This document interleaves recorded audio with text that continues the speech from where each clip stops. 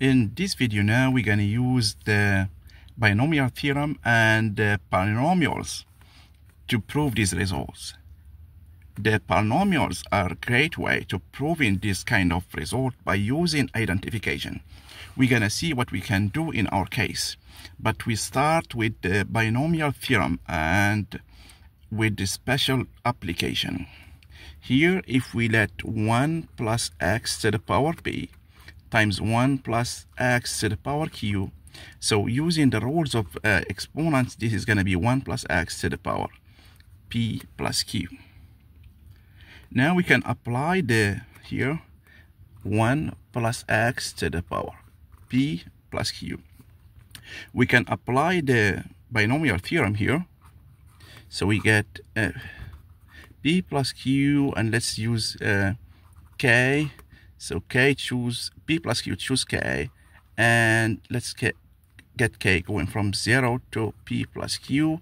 And here we're gonna take a, a as x so therefore we have x to the power k and b is gonna be 1 so 1 to the power p plus q minus k is it's going to be 1 we are not gonna worry about that. Okay Next, we're gonna see here that we have two polynomials, one of degree p, the other of degree q.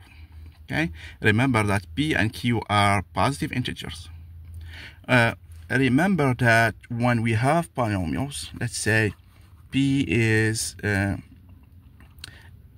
uh, let's say what I'm gonna use, ak, x to the power k where k is going from 0 to, let's say this is b, and uh, uh, let's call it big B.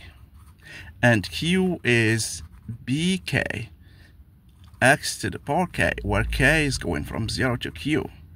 Okay, we have the product of these two is uh, k going from 0 to b plus q.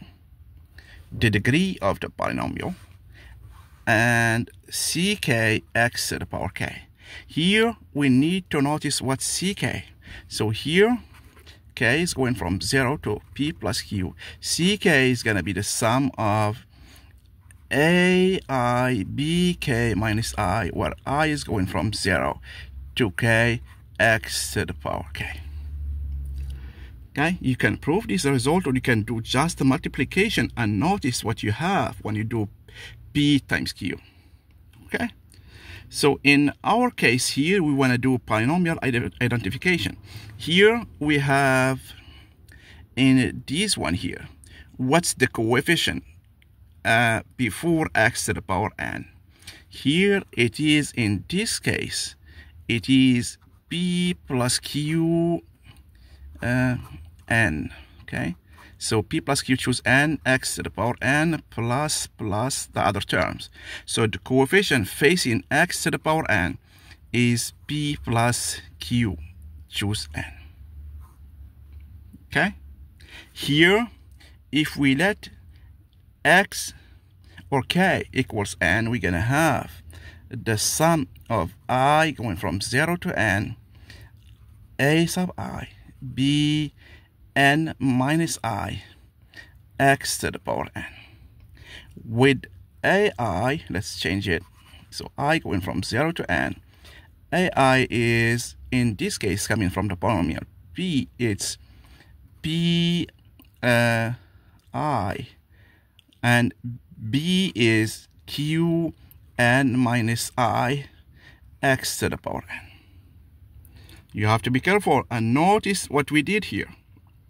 Now using identification, so this is x to the power n and the coefficient from the this one here, this right side, the coefficient coming from this polynomial, x to the power n is p plus q choose n x to the power n. So now using identification, so polynomials are unique. So the coefficients are unique. So this coefficient facing x to the power n is the same as this one facing x to the power n. And we see here that we have the same result as we have done last time. Okay, we might have changed the index, which is i here. We could have used k, but it's the same. So in this case, we have proved that p plus q choose n. is the same as k going from 0 to n bk qn minus k. Okay and this is the polynomial identification that has led us to this result. The key idea is you need to know how to do binomial multiplication.